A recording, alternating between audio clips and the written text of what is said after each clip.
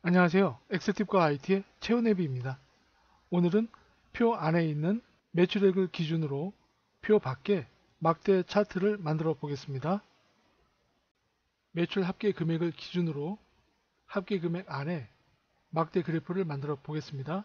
범위를 지정한 다음 조건부 서식에서 데이터 막대 그라데이션 채우기에서 파란색으로 클릭합니다. 금액 안에 막대 그래프가 만들어졌습니다. 그럼 I열에 막대 그래프만 만들어 보겠습니다. I열의 너비를 키웁니다. 원하는 만큼 끌어당겨서 너비를 키우고 합계 금액을 지정한 다음 복사합니다.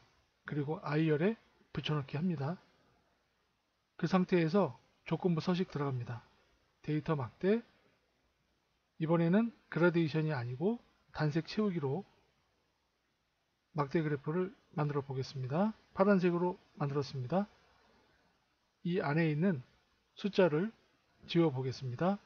다시 데이터 막대 들어가서 기타 규칙 들어갑니다.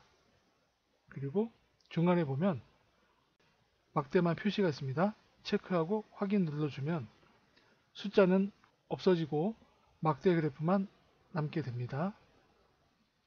나머지는 표 안에 동일하게 적용을 시킵니다.